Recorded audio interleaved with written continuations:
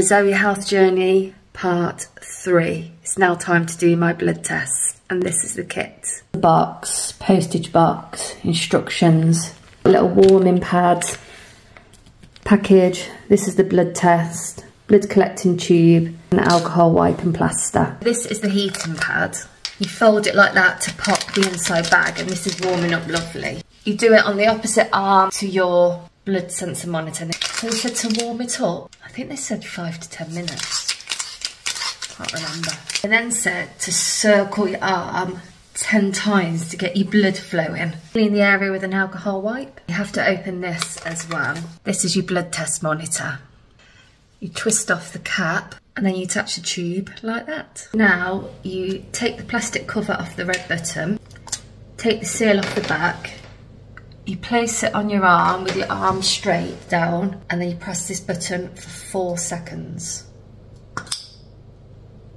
Says you might feel a pinch, but I can't at the moment. Just gotta wait five minutes for it to fill up. So the five minutes are up and it's collected a tiny amount of blood. So it says just to pull that away from your skin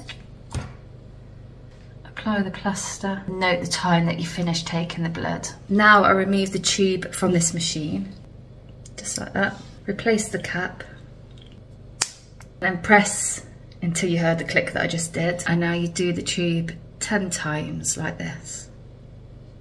You then pop the sample tube into the biohazard bag. You then put the bag inside the postage box and you have to post it same day. So I'll take a walk down to the post box now. So I'll also do my poop sample either today or tomorrow as soon as I need to go. That gets posted off too. And then in about six weeks time, you should get a personalised plan of how, of your metabolic response to the cookies that I took earlier.